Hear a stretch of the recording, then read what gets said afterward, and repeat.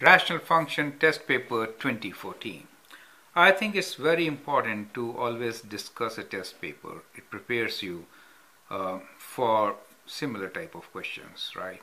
And also it gives me some ideas like where the students are making mistakes and how we can teach them so that those mistakes are not done by the coming students, right?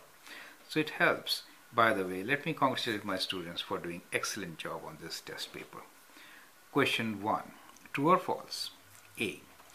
The reciprocal of every linear function has a vertical asymptote. I like you to answer these questions as soon as I start or stop reading the question, right? And then look into my solutions. B.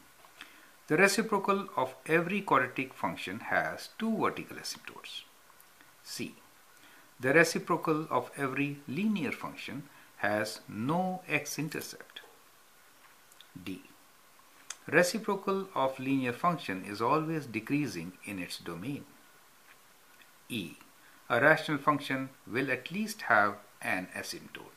It could be vertical, horizontal or oblique. Okay, so these are your five questions on true or false, simple. But I like you to go through them in a very efficient way so that you don't really lose time also, correct? Here are my suggestions. True or false? Reciprocal of a linear function has a vertical asymptote. It's true, right?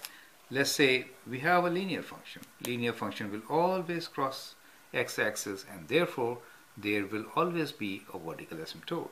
So this is true. Next, a reciprocal of every quadratic function has two vertical asymptotes. This is wrong, right? So because we could have a quadratic function like this, right?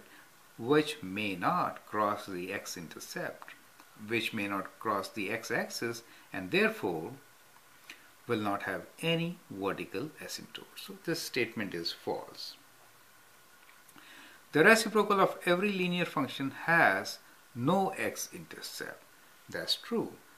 Think like this. We have this linear function. So if you draw a reciprocal of this, it will be kind of it will be kind of like this. So it will never have any x-intercept in fact x-axis is a horizontal asymptote right? So that is true correct? Now the reciprocal of linear function is always decreasing in its domain. Well you can't really say that right? Because reciprocal of a linear function. So we are not saying whether the linear function is increasing or it is decreasing. We're not saying whether it is like this or it is like this, right? And therefore, this statement is false, correct? A rational function will at least have an asymptote.